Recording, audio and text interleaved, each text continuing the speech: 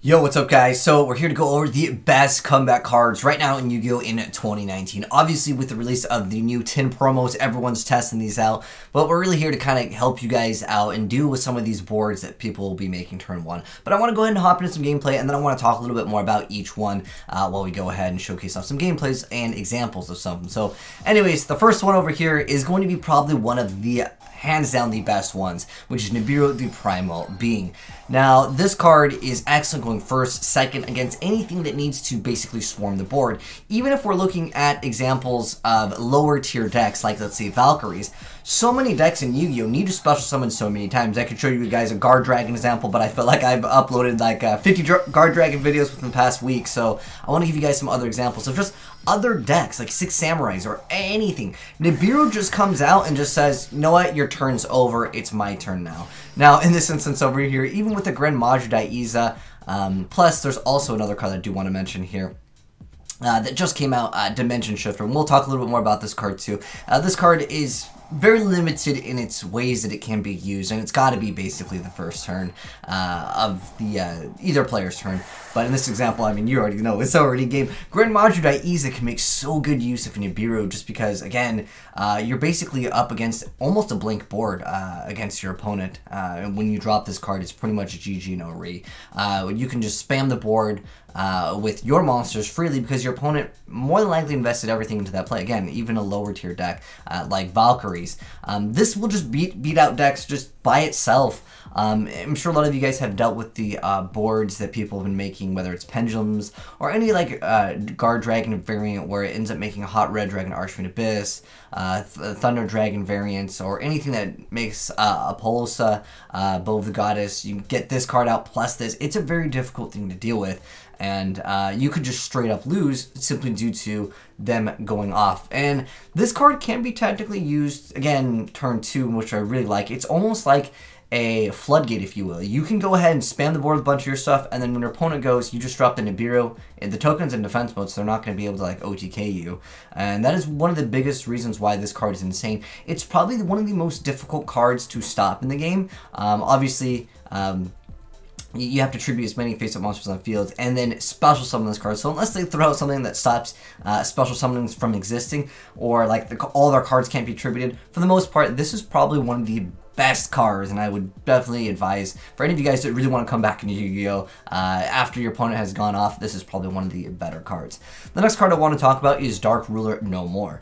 So this one makes it so it negates the effects of all face-up monsters your opponent controls until the end of this turn. Also, for the rest of this turn, after this card resolves, your opponent takes no damage, and neither player can activate monster effects in response to this card activation. So basically what it comes down to is, again, most decks will be throwing out these turn one boards that are very difficult to deal with, and this is supposed to kind of help out with that. However, when you look at other uh, archetypes, uh, whether it's like Zephyr Pendulum, or it's pretty much they just kind of tech this card in, and pretty much they will have a negation of negate anything. You can also look at Crescendo and kind of look at that and say, okay, that can basically stop that. I mean, Salamangreat is definitely a deck that can come back off of just one to two cards anyways, uh, but the thing is, they can also uh, stop anything, so this card does have uh, some downsides. Obviously, your opponent's not going to be taking any damage, but a lot of times when your opponent exhausts their entire hand, their entire extra deck, which is something I want to showcase off in this next duel over here, um, and basically, how good is this card? Because, again, remember, remember that you're not going to be able to do any damage to your opponent. So you basically give them an extra turn, although if you break their board, does that really matter? Anyways, let's go ahead and watch uh, an example of uh, this in action here. So uh, the Orcust Dragon Maid player is going to go first. My boy Teriyaki going to be making a very strong board, but the guy is going to top deck into Dark Ruler No More, which is going to basically force a uh, instant negation. Uh, if you happen to have any follow up with that, that's what you want. Sometimes, um, which this is this is even higher level IQ play uh, in utilizing this, but it's in a sense your opponent has to stop this card. Otherwise, all of your monster effects aren't going to be able to activate. And if your monster effects negate other effects and you have multiple negations, you're going to think, of course I'm going to go ahead and stop that card. But sometimes it's better to let it go through, and I'll explain why in, in a moment here. Um, depending on what your opponent obviously has in their hand, if they have no extender, sometimes getting rid of that one first monster uh, effect is way more valuable than keeping all of your other monster effects, and we'll get into that in a second here. But basically, over here, you can see we have Apollo that has multiple negates, and you'd think, okay, he's got three negations with this, this is four negations, this is five, how do you even lose? And if you want to consider this and also another negation, that's six negates, you win. And that's what I was thinking too, I'm like, okay, how are we going to see good use of Dark Ruler no more? Okay, so we activates this. This automatically forces eh, eh, negation, any other uh, uh, card that would be able to uh, negate anything essentially here. So we're seeing that. That's going to go ahead and stop the uh, Dark Ruler no more. And again, this is the point is you have a follow-up play um, if you can. Um, now he even has the uh, Crusadia power, which is going to go ahead and actually uh, act as another form of protection here, but that goes again and gets stopped. We also get the Hot Red Dragon Archfiend Abyss and called uh, by the Grave here, but he's able to kind of power through this. He also stops uh, the Crusadia uh, Regulex from activating, but it's going to attack multiple times. That was kind of unfortunate. So you can see the use of that card. Let's go ahead and take a look at this, though. Hold on. Because I, I know some of you are going to say, well, he didn't even get the effect of it. That's not the point. The point is is that it forces out the negate anything uh, type of a card that would be spell speed 3 that, again, uh, your monsters just wouldn't be able to deal with. You don't have the follow-up play. You can't respond to uh, their uh, spell speed 3 or counter trap card, basically. Or I guess Taylor Super Poly could be example too. But um, let's go ahead and look at this example again. If that card would have won off, what would have been the result here? Uh, because um, this, the card is still very good, even though it didn't see its actual effect uh, being used. He technically, if you let this go through, he would have had an extra turn over here, and potentially, depending on what the opponent did, uh, he might have been able to actually win if he did not actually stop this card. So anyways, let's go ahead and hop right into this. So he's going to go ahead and activate that. That's going to go ahead and stop by Crescendo. And then he's going to go ahead and uh, basically wipe the board. Okay, so at the end of the day, if he let this go through, he wouldn't have had these negations. The opponent would have went off even further and would have wiped the board. But remember, this has the downside of that um, your opponent takes no damage. So at that point, what are we looking at? Okay, so we're looking at maybe, I mean, he probably would have activated this anyways. Um, even if uh, he let this go through. So let's say that the board is completely clear. Okay, he was definitely going to go ahead and clear the board. Um, more likely Crescendo would have been activated at some point. So again, we're, talking about no cards here and our opponent gets rid of everything. What would be our top deck here? And again, this is this goes the same with like pendulum decks. Salamangreat's a little bit different because I want to say they have the most recovery out of a lot of the uh, meta decks here. Um, these are, are great cards. However, when we look at uh, Crescendo here, uh, it does have that effect. We get to um, banish this card and add one of your Dark Machine monsters banished, but that doesn't exist at the moment. However, the top deck is a Draconet, and there is another target for it, which would, of course, be the uh, Guardragon Justicia over here. Uh, but thing is, there's no point in it because it's not going to go ahead and lead us into other uh, cards.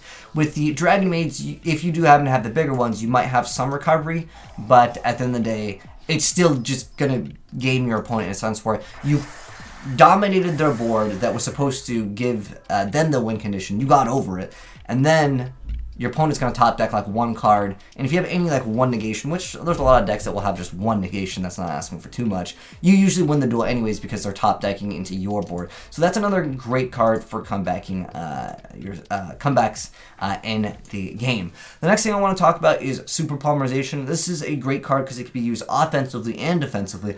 However, this one is really deck dependent.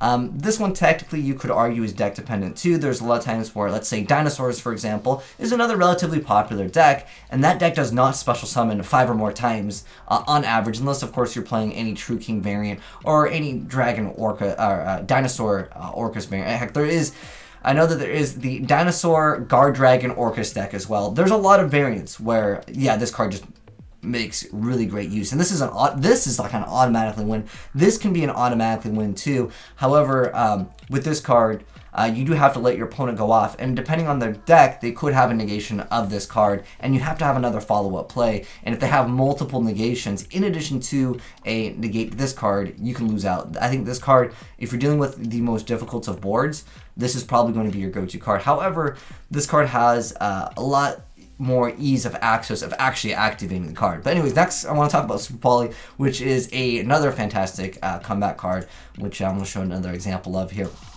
This one's actually a combination of both.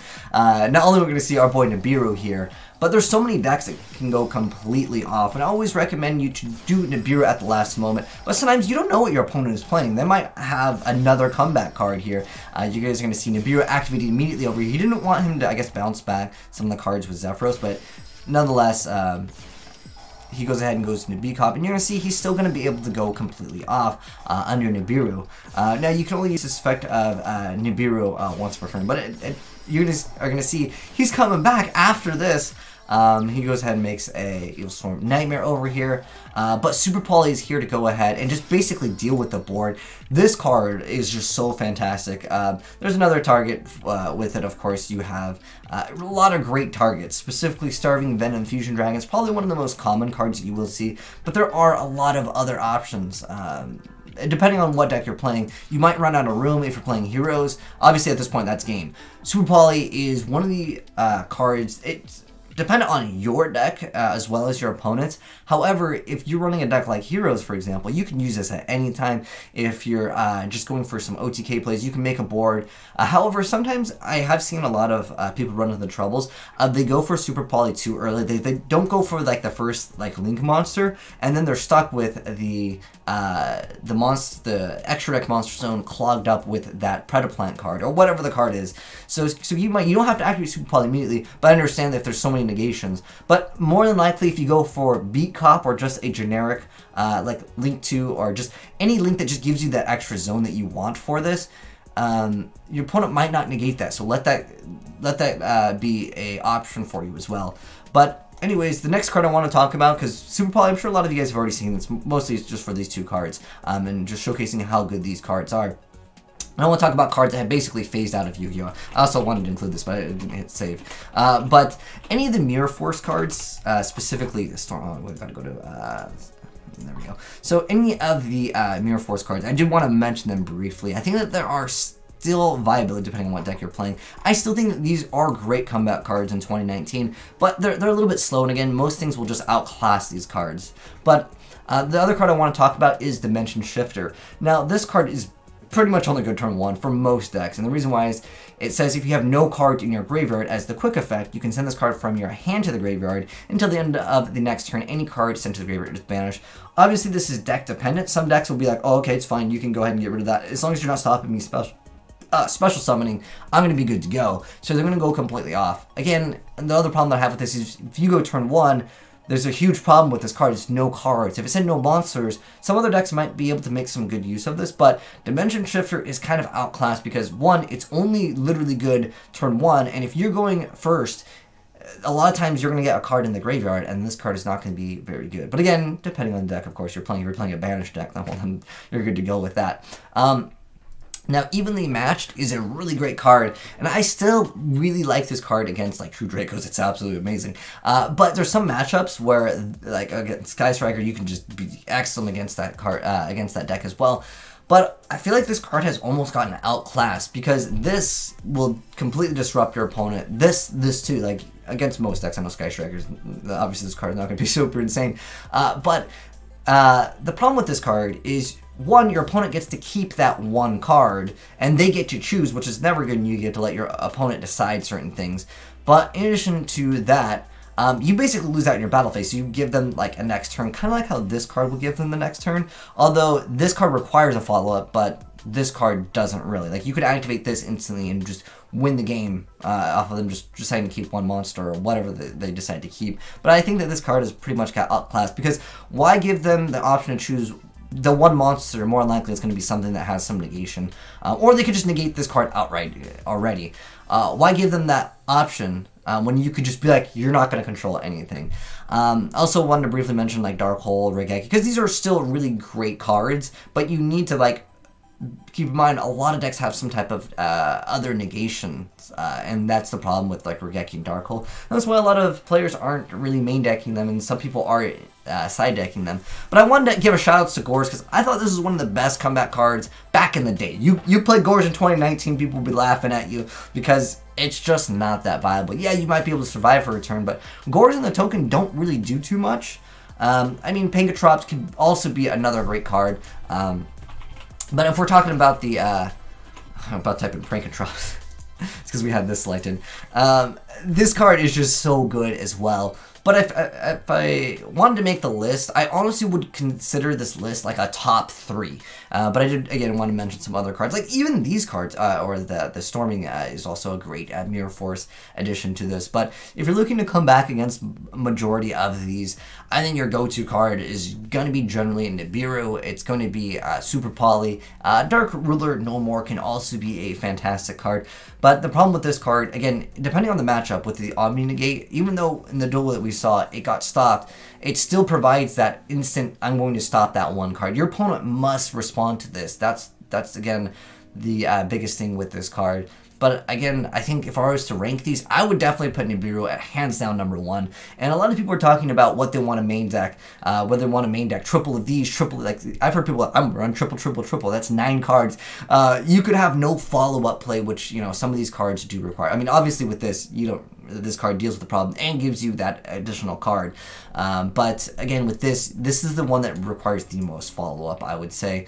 Um, because again, if there's an Omni Negate, I would just prefer this. But anyways, that's my thoughts on the best combat cards in 2019 uh, in Yu-Gi-Oh! I would, I would keep this list at a top three. This one does, like, the rest are just honorable mentions, but I think they've been outclassed in the game right now, uh, for the most part. But I know there's people who be like, yo, where the kaijus, where the lava golem at? Why, why even bother with those when you could get rid of everything? And then on top of that, you have a 3,000 attacker. They have a big token, but you, some somewhere along the lines of the step, especially if you're playing any uh, Orcust variants, you're, you're going to go ahead and go right into, uh, you can go into Cerberus or you can go into uh, whatever card you need to and just get rid of that one card. It's not that big of a deal.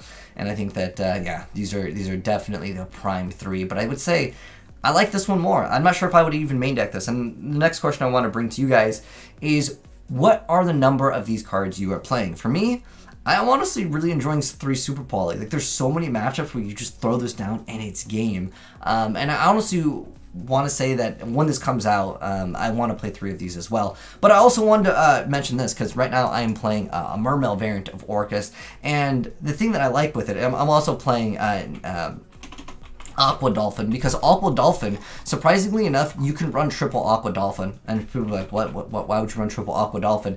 The reason why is you can proc the effects of the waters off of that discard, which then gives you this card as a one card uh, basically combo and it reveals your opponent's hand. So you could say oh do you have super poly? Do you have this card? And you can go ahead and get rid of you know whatever the case may be. And then i'm also right now i'm running some of the bigger dangers specifically uh, bigfoot. Um, this is also a is it is it big dashfoot oh is it one word? Okay. Anyways, so uh, if you run like Bigfoot, if you run any of the larger monsters, you can snipe some of these cards out of your opponent's hands. Which at that point, well, you probably don't want to snipe this card uh, out of your opponent's hand because more than likely they would have activated this effect immediately, anyways. And on top of that, uh, well, yeah, you're probably not going to get that effect off uh, to get rid of this card. But the thing is, is that you can also Moulinglace. Uh, if, if I go for my big boy combo, right? Like if I have Moulin if I Moulinglace them at some point, right, they're waiting to activate this effect. If I Moulinglace knock two cards out of their hand and then this is their third card, uh, I still happen to have a full hand. Like, I, I can literally just go off of uh, Atlantean Prince. And this could just be like my one card. I only invest one card into my big boy combo, which goes into uh, Moulinglacia, and depending on how far it goes down the line, um, I've been actually going for this. Instead of going for Savage Dragon, I've been going for uh, Omega. And um, this has been like a really okay. I, I feel like this this is a separate video now. I'm talking about like, dude, this card don't even affect me. But the thing is, is that it really doesn't uh, affect me that much because if because again, people don't want to activate this card too early. You activate this card too early, it's like, okay, I'm going to continue my combo. If you activate it too late after I Moulinglace you, after uh, after I Moulinglace, and then I go for uh, Omega, um, because people really don't expect this card in the middle of the combo. It comes out of nowhere. It's a surprise factor, and I probably shouldn't be mentioning this because now people are going to be knowing what what I'm doing. But basically, you get to knock three cards out of hand. You knock three cards out of hand. This is their fourth card. And then at that point, uh, I mean, they have two cards. I still have basically my full hand because everything else I got for free. I technically might lose my battle phase, but you know, what's what's a battle phase in Yu-Gi-Oh? When you get when you've gotten rid of everything your opponent has, right? Uh, and then next turn you can follow up. Uh, like I'm still playing Neos Alius, so like that card can still instantly get me another Aqua Dolphin because again, I'm like contemplating on actually running three Aqua Dolphins. Right now I'm doing two. Uh, anyways, I feel like this is a separate video for uh, me talking about how good my deck is against these cards. But nonetheless, um, being able to reveal your opponent's hand is huge in Yu-Gi-Oh! Um, and obviously, this card is just, it's probably one of the best cards we've gotten in a long time. Anyways, oh my gosh, I just noticed the time. Yo, we already hit that 10 minute ad revenue twice, boys. Let's go. Anyways, um, hopefully you guys enjoyed this video and kind of talking about and show, showcasing off other examples of like better comeback cards in Yu-Gi-Oh! Because again, it can be frustrating when you're dealing with these. And I feel like I want to make a separate video talking about this, but I feel like even though a lot of people feel like feel like these cards saved Yu-Gi-Oh, honestly, it still becomes a one-turn game. Your opponent goes off, you go ahead and slam one of these down on it, and then you're like, okay, I go off, and you can't respond because you used all your cards. That's just the way the game is played. But anyways, thanks for watching, guys. Hope you enjoyed the video. If you did, drop a like on. If you're new here, hit that subscribe button, turn on that bell if you don't want to miss out on new Yu-Gi-Oh uh, discussion videos uh, like this in the future. But uh, anyways, thanks for watching. Peace.